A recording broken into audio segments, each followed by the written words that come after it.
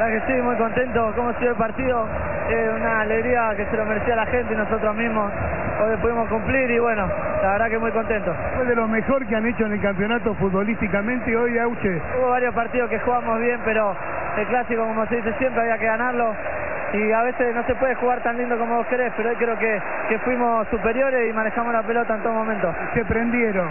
Tranquilo, hay que seguir sumando, lo importante es volver a ganar y ante un clásico. Gracias. Hasta luego. Gabriel Auche.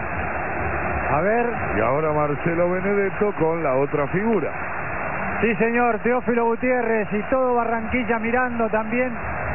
Qué triunfo importante para ustedes. Después de tanto tiempo que Racing no le podía ganar a Independiente. Sí, gracias a Dios.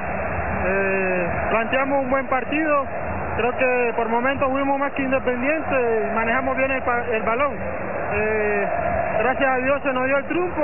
Un clásico, los clásicos se ganan y ahora vamos a disfrutar. Eh, lo más importante es la tranquilidad. ¿Por qué no lo podían cerrar el partido? Bueno, Independiente es un gran rival, por ahí nos complicó un poco.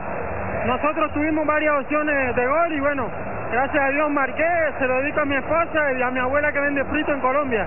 ¿Estabas nervioso que no podías convertir? Sí, nervioso. Los goleadores vimos de los goles, para mí los goles son amores y bueno, me voy contento a mi casa. Felicitaciones. Gracias. Teófilo Gutiérrez. Muy bien, Marce, bien.